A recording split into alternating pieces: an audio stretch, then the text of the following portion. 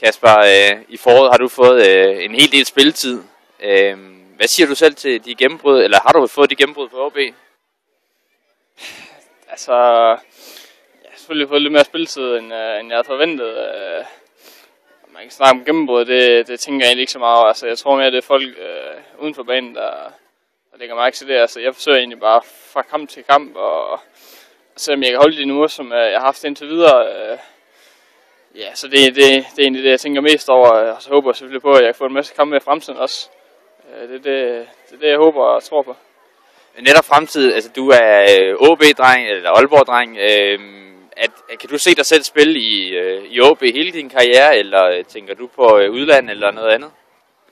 Jamen altså, det, det er da det er svært at svare på. Altså, eller, altså, jeg har kun spillet 12 kampe, som sagt, og, og man kan sige, øh, hvis jeg kan holde mit niveau, altså det er jo hele, hele tiden op til mig selv at, at bevise, at, øh, at jeg skal holde min plads på holdet, og nu må jeg sige, så er jeg ung og sådan noget, øh, det er da klart, at hvis jeg kan holde mit mål ved med at udvikle mig, så har jeg selvfølgelig også en drøm om at komme videre og få en dag, men altså det, det tænker jeg ikke så meget over nu. Øh, lige nu så, altså, vi så to kampe igen, og det, det er det, jeg fokuserer på lige nu.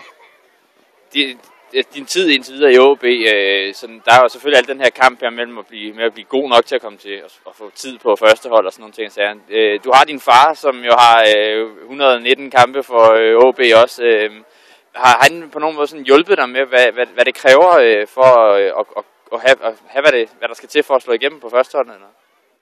Ja, altså det er jo klart, det har, det har en vis betydning, at, at jeg har haft en far, som, øh, som har gået meget op i fodbold, og, og hele tiden har, har, jamen, hjulpet mig og fortalt mig, hvad der skal til for ligesom at, at blive professionel. Og, og det, det har i hvert fald hjulpet mig meget i, i de, den, hvad skal man sige, da jeg var, da jeg var yngre, øh, 14-15 år, og han ligesom ikke lagde pres på mig, men altså sagde, at, at nu skulle jeg så for at træne lidt ekstra, og, og give den skalle til, til træning i kamp, så, så jeg kunne komme videre, og jeg har fået den her oplevelse, øh, som det er at være professionel. Det, det er ikke ret mange, der får lov til det, så det er selvfølgelig bare fedt.